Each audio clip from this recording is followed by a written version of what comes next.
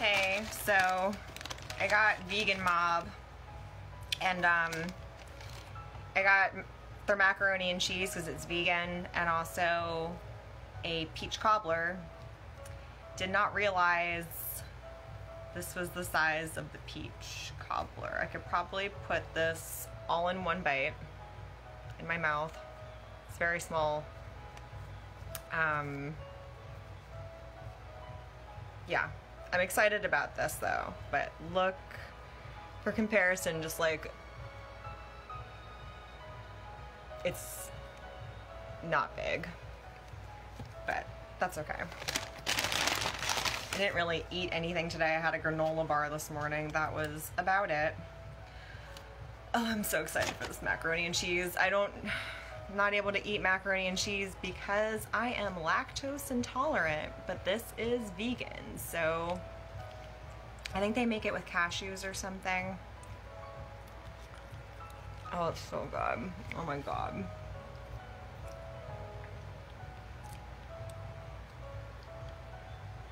I like I crave it. I crave cheese. I want pizza. I can't eat it though. And the Daiya stuff that they use on vegan pizza, I do not enjoy it. It's really good. It's got um, peppers in it. Looks like some parsley or cilantro or something. It's very creamy. I got some of that um, Banza macaroni and cheese, and that's a vegan macaroni and cheese. It comes in a box, like Kraft macaroni kind of, same kind of thing. Um, I made that. It was all right. I didn't want to use milk in it. Like I have oat milk, but I didn't want to use that in macaroni and cheese. But I have this like vegan butter and I used that and it was okay. It wasn't great though because it wasn't just like regular pasta. It was like pasta made out of peas or something. So it just tasted like peas, which I don't really enjoy. Peas are probably, eh, I'll eat them, but like it's not a great flavor that I look forward to when I'm trying to eat macaroni and cheese, if you know what I mean. This is really good though. Yeah, if you're vegan or if you're lactose intolerant like me, um, I don't know. I don't know how to make this like cashew cheese sauce. I would love to learn how to make that. I think it's hard. I think it's difficult to do because there's just like a lot of steps involved. You have to like strain it.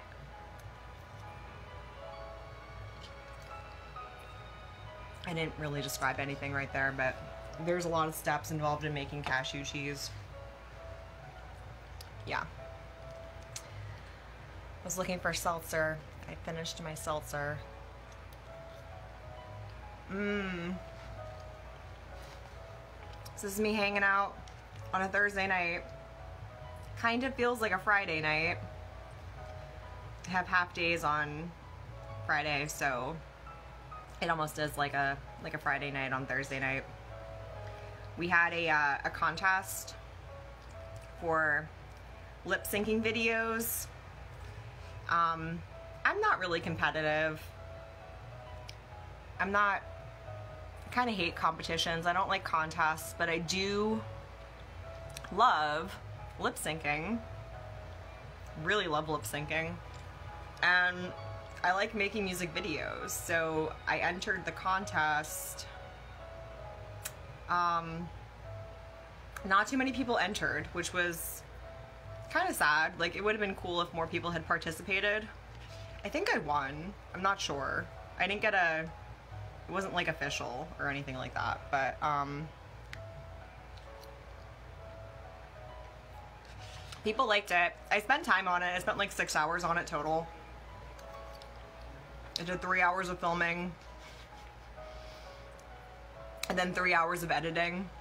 And I was thinking, like, I finished it Monday night, and I was thinking yesterday, like, maybe I should go back in and add, like, a different um, shot. All of the shots were kind of similar. And I thought, like, oh, maybe I should do one with it's just like my mouth, like on the screen, lip syncing, but I didn't actually do that. Yeah, people liked it. Um, I was surprised. It was a little bit embarrassing. Because it was like, we watched them live on Zoom altogether. And I was really nervous um, when mine came on. Just like having to watch myself on screen with all my coworkers watching it on screen at the same time. I was like shaking. I get really nervous. Um, but it was cool. Um, I think people really liked it, and you know, like I, I love doing stuff like that. Like I just want to do more stuff like that. Just make videos. Um, Zephyr, no. But it was fun. Um, I think I thought too much about it. And honestly, I, I was expecting like, I was expecting the design people to enter the contest, but they didn't. Actually, no. Kenneth Kenneth entered. He he did something, but his grand plan didn't work out. So he just did kind of something simple. Um, but I was expecting like the musicians and the people who have like podcasts and stuff like that where they're used to doing editing all the time. I was expecting them to turn something in and like do something very complicated, so I wanted to keep up and did something, you know, I made myself step my game up. So, yeah, it was just me and two other videos. But there's something hard in my macaroni and cheese. I don't know what it is.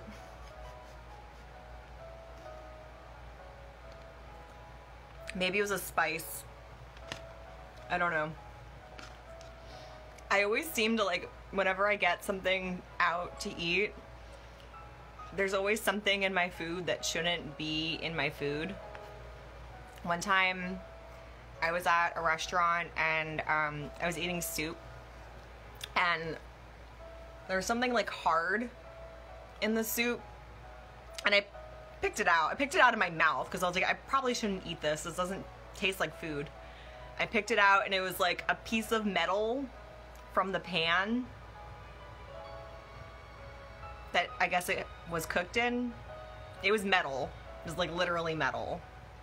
Um, that was gross. One time I got a sandwich at Whole Foods and um, they, uh, I asked them to like grill the sandwich or whatever. I bit into it and it was hard. There was a hard thing in, in my sandwich and um, I was like, oh, maybe this is just like a piece of lettuce or something. And I like tried chewing it more and I, I spat it out and it was um, the little plastic bread tie that comes on a bag of bread. They had uh, cooked that, they grilled that into my sandwich. That was gross. I got my money back. I think the hard thing my macaroni and cheese was just like a, a spice or something.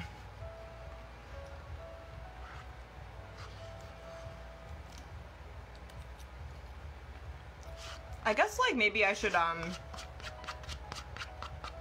I would like to work with a musician or something and make music video type things with my poems maybe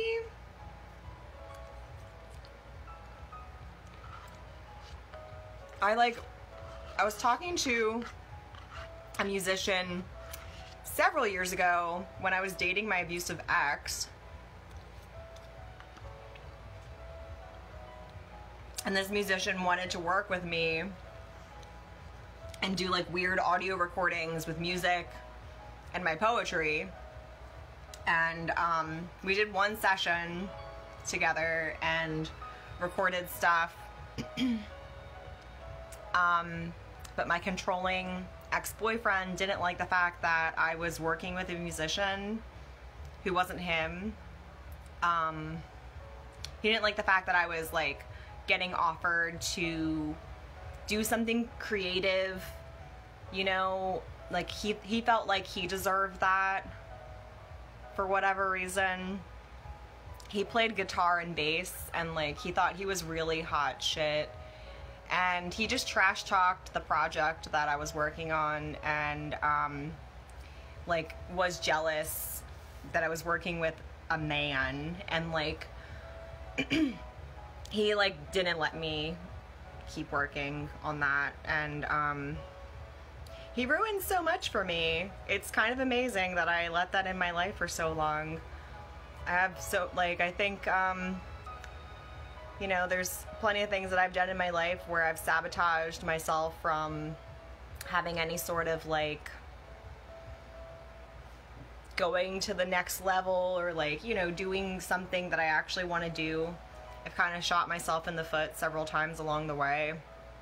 And it's, you know, it's hurt me. It's hurt me a lot. Um, and yeah, this was an instance where there was several of them that he just like he he fucking kidnapped me for my own poetry reading like he literally did that um he didn't like me having friends or yeah he was threatened.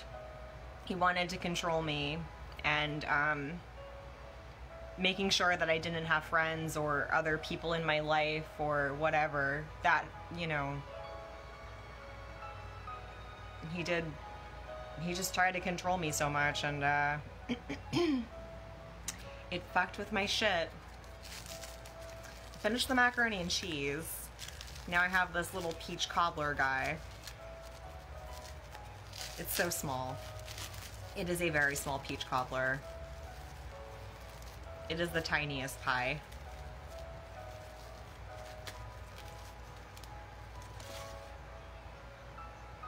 my tiny pie.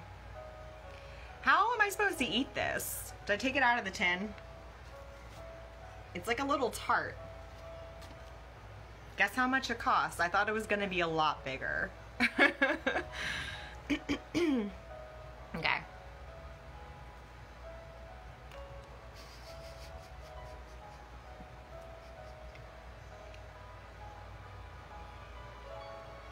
It's kind of dry. He was a narcissist ever, and you know what? He convinced me that I was the narcissist. And that's something that I held on to for a very long time, believing. I still, you know, it still creeps up on me now. It was $6. $6 for the small little kind of dry pie. It's too much crust, I think. Not enough peaches.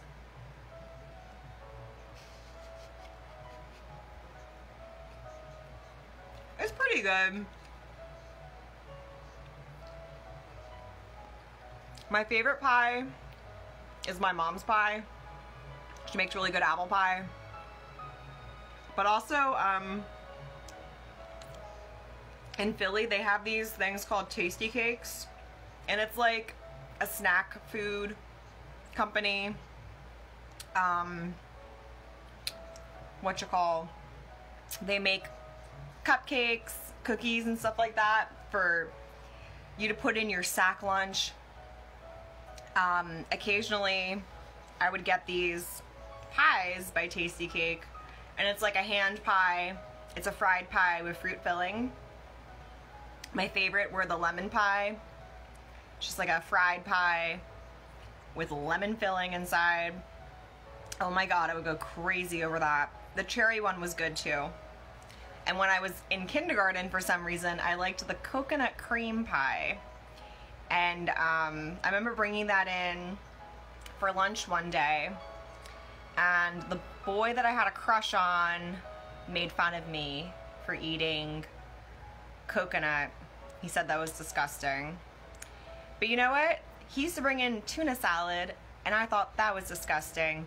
And we both got in trouble for making fun of each other's lunches. I don't like this crust. This crust is not good. Mm-mm. Mm-mm-mm. But the macaroni and cheese. I don't know if this is worth $10. This should have been a lot bigger for $10, but whatever. I have a good appetite. I can eat a lot. Aw, Nina, thank you. I'm glad this is funny. Because I almost started crying a few minutes ago.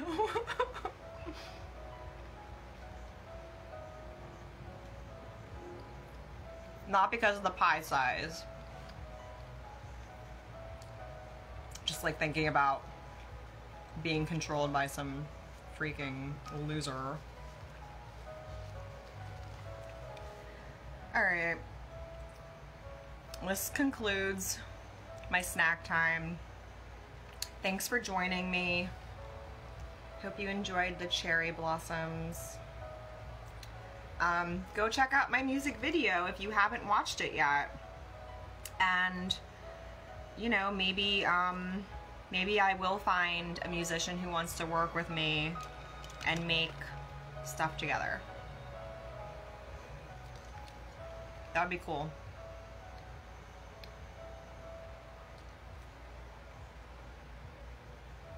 I'm not making my own because I can't process dairy products because I'm lactose intolerant. And the box macaroni and cheese that I have that's vegan isn't that great.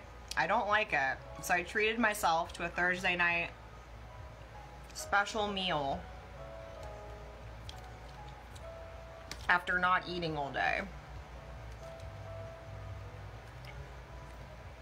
If I could eat regular macaroni and cheese, I would. I would for sure.